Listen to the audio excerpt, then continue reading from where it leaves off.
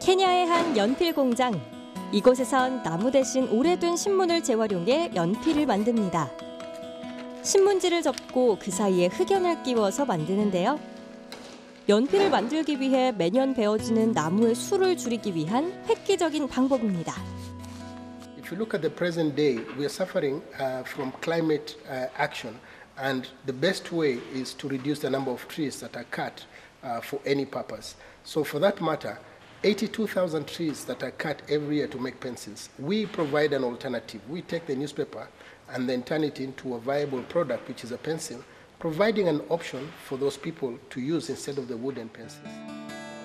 나무를 베는 대신 이 회사는 킬로그램당 1달러 남짓의 폐신문을 쓰고 있습니다.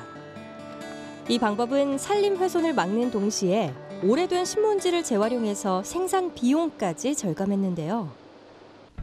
흑연을 신문에 말아 압축시킨 연필은 3일 동안 햇볕에 말리는 과정을 거칩니다.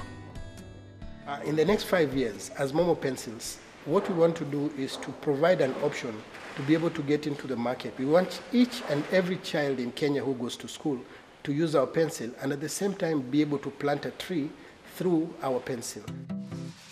외필을 입히면 그럴듯한 연필 모양이 나오는데요.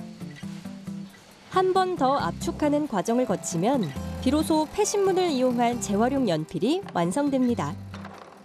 8 million trees are cut down every year to make pencils, and that contributes to deforestation and climate change. Also, about 85 billion tons of waste paper are generated every year, and 32 billion tons of this waste paper is dumped and burnt down.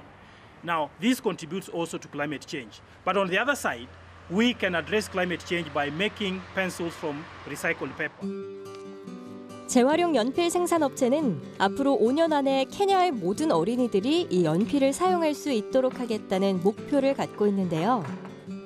아이들의 생활 속 환경 교육에도 많은 도움이 될 거로 기대됩니다.